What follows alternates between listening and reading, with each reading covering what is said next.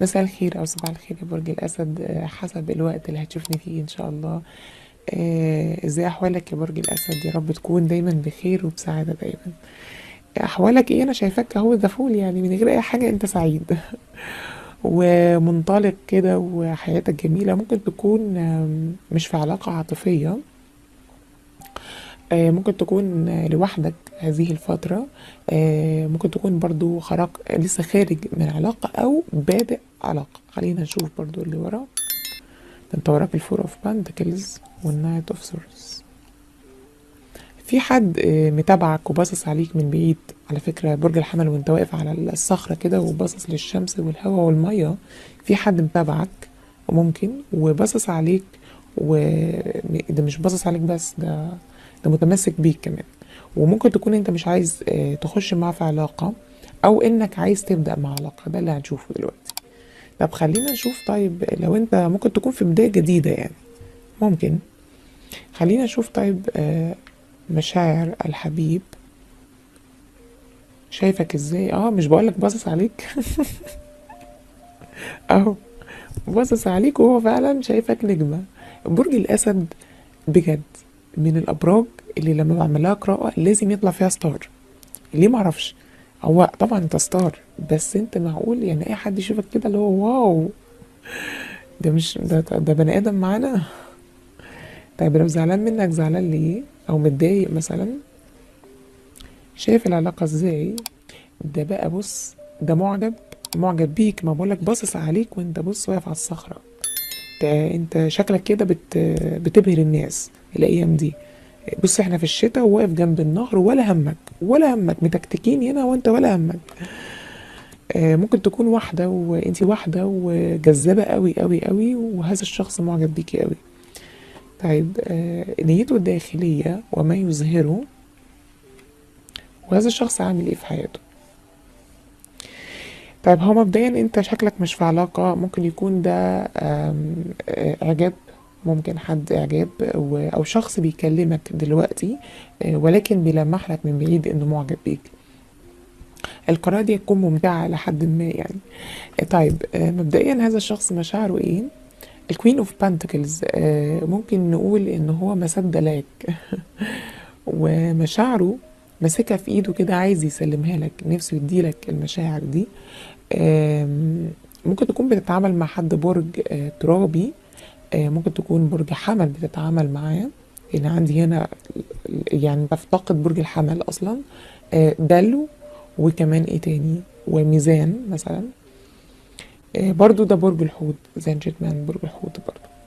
طيب queen of pentacles هذا الشخص آه، بيحبك على فكرة ولكن حب بطريقة غريبة شوية. هذا الشخص عايز يمتلكك.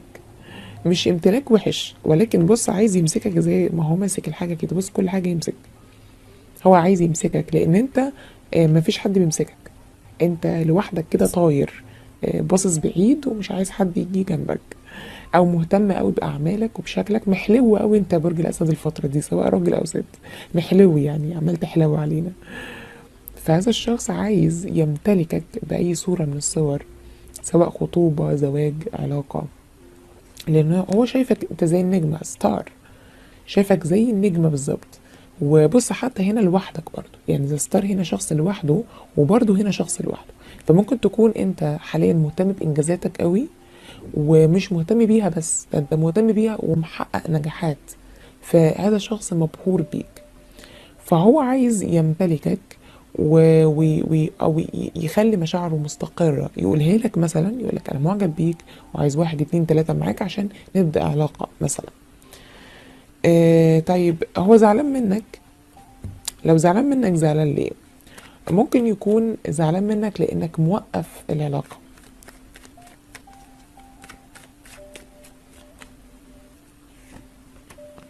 امم أنت برج الأسد مهتم بإنجازاتك المادية فقط. هو زعلان لأن مفيش تساوي في هذه العلاقة. الشخص ده معجب بيك أعتقد وده بنسبة 90% دي آه علاقة كراش. آه حد آه هو صرح لك بإعجابه أعتقد بالفعل وقال لك أنا مش هسيبك مثلا.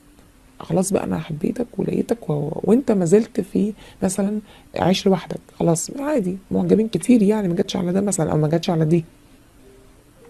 فهو شايفك إن أنت معلق الموضوع بص برضه لوحدك برضه لوحدك يعني أنت برضه لوحدك هنا في الصورة. ومختار طريق تاني غير طريق الحب. مختار إن أنت آه، تسلك مثلا طريق النجاح الفلوس آه، تخلص دراستك أو تخلصي كليتك تخلصي شغلك تترقي في شغلك أو تترقى أنت أو هي تترقى. والعلاقة بينكم مش متوازنة. مش عايز تدي وتاخد معاه. ممكن تكون مثلا ما بتردش عليه مثلا فترة فترة لأ. بتعمل off on في العلاقة. فهو زعلان منك بانك معلق الموضوع لا أنت عارف تقرب ولا بتبعد. مرة بتدي مرة ما تديش خالص. مرة تتكلم مرة ما تتكلمش خالص. ارحم هذا الشخص يا برج الأسد. ارحمه. ارحمه من من جبروتك. هو برج الأسد بيحب يثبت نفسه على فكرة في العلاقات. دي مش حاجة وحشة. لكن هو بيحب لما يخش علاقة يحس يحس كده إن اللي قدامه عايزه و... و... ويتهافت عليه. طيب آه، هو شايف العلاقة إزاي؟ شايف إن العلاقة دي علاقة جميلة قوي وهي ناقصها بس كوباية واحدة ونجيب المأذون. والله لأن بعد الورقة دي هي اتنين أوف كابس اتنين متجوزين. فهو هذا الشخص أنت بالنسبة له الستار. ال ال الأمنية الغالية على قلبه. فهو عاي لو العلاقة دي ابتدت فهو قد حقق الأمنية العاشرة بالنسبة لي. هو تقريبا هذا الشخص مستقر ماديا وأعماله كلها مستقرة وعنده الشقة ودهنها وكل حاجة تمام هو بس ناقص إن انت العروسة تاخد المفتاح وتخش الشقة بس. أو العريس خلاص يجي بقى يقرأ الفاتحة مع بابا وخلاص. فأنت الأمنية العاشرة أو انت الأمنية العاشرة. آه مش بقول لكم ال- القراءات بتاعت ال- الكراش دي بحبها قوي بصراحة يعني. تظهر لي قراءة كده في النص بحبها. طيب هو نيته الداخلية إيه؟ هو عايز يشتغل معاك في العلاقة. ومش عايز يبقى آه، مثلا آه، يعني ما يكونش فيه آه، ياخد ويدي معاك. لا هو عايز عايز يشتغل في العلاقة وهو مستعد إنه يبذل مجهود عشان يلفت انتباهك. بس أنا قبل ما أشوف الورقة دي أنا عايز أعرف أنت ليه مش عايز ترتبط بيه؟ أو مثلا مأجل الموضوع هل أنت أصلا معجب بيه أو منجذب له؟ خلينا نشوف. هنقفشك يا برج الأسد. والله لا اقفشك هل أنت برج كبرج الأسد كده لطيف منجذب لهذا الشخص ولا لا؟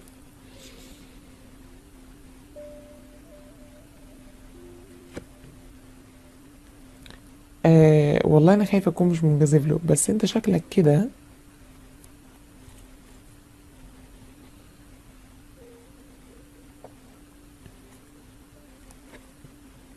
لا انت منجذب له. انت منجذب له وهو عاجبك. على فكرة الشخص ده ترابي. أو شخص بالفعل هو غني أو شكله حلو وجذاب. ولكن انت عارف انت ع- آه، آه، لو انت حد بيتفرج على برج الاسد وبرج الاسد بيعمل معاك كده برج الاسد معجب بيك جدا. وعلى فكرة عايز يديك كوباية. آه، بس برج الاسد بيعمل كده عشان يعني بيتدلع. انت ممكن تكون بتتدلع على هذا الشخص اللي هو خلاص بقى آه، ما تبص كتفي يا عماد لا. آه، برج الأسد بيتدلع. انت يا برج الأسد بتتدلع الشخص ده هو عاجبك جدا وداخل دماغك قوي داخل دماغك قوي هذا الشخص. لو انت راجل فالبنت دي داخلة دماغك قوي بس انت مش عايز تظهر له ده. يمكن في الوقت الحالي أو عايز تبين له ان هو أنا مش فاضي والله للعلاقات خالص. تماما يعني العلاقات دي آخر حاجة عندي بقى. نتخطب إمتى بقى؟ ممكن تكون بتحب إن أنت في في في ناس بتحب تمط في العلاقات. يعني مثلا الإعجاب ما ياخدش إلا شهرين لا هو ياخد ثلاثة أربعة خمسة. بس هي علاقة جديدة يعني. وهو معجب بيك وأنت كمان معجب بيه. بس مش عارفة أنت بتعمل معاه كده ليه. آه طيب هو هيظهر لك إيه؟ هو هيظهر لك آم، three of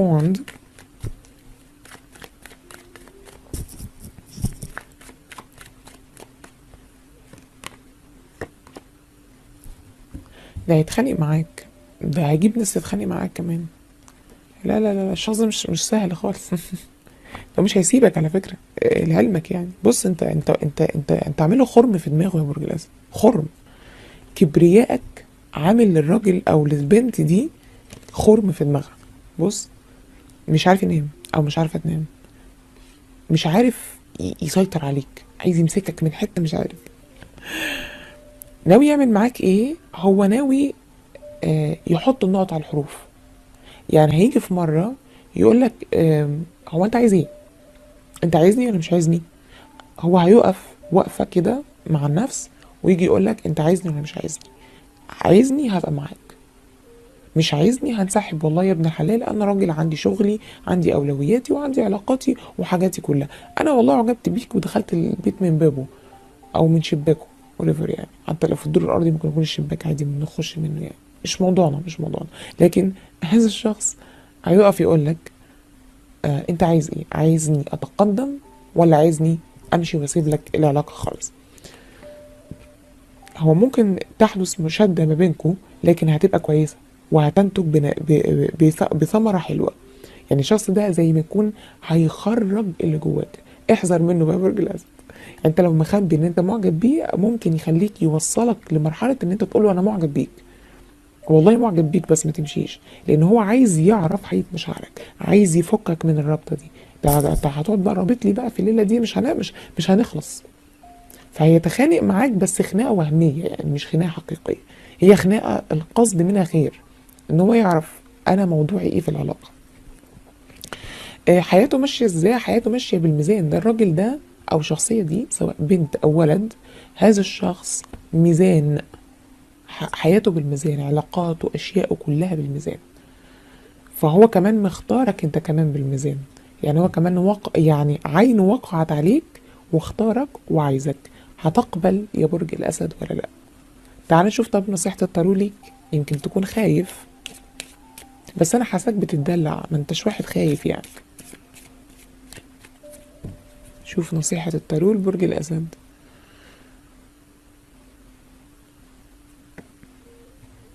شكلك خايف بقى وأنا ظلمتك ولا إيه؟ أنت خايف على فكرة من هذه العلاقة وماشي ببطء وتكاد تكون مش ماشي أصلا. يعني تكاد تكون واقف على الحصان ومش ماشي. طب بص بقى برج الأسد. إن كنت خايف من هذا الشخص فهذا الشخص حقيقي جدا. بيحبك؟ بيحبك. يتمناك يتمناك. عايز إيه؟ عايز علاقة جدية معاك. فأرجوك ما تو... ما ما ما, ما تظهرش أشياء عكس ما بداخلك. بمعنى وأنا هو- هفضل أقولها هفضل أقولها طول عمري يا جماعة إن كنتوا خايفين قولوا أنا خايف قولوا أنا خايف. ليه؟ ليه؟ عدم إظهار الحقيقة للطرف اللي معاك بيخليه يتوهم أشياء. يعني هو دلوقتي حاسس بإنك متنك عليه. وإن أنت مناخيرك فوق ومش عايز ترتبط بيه.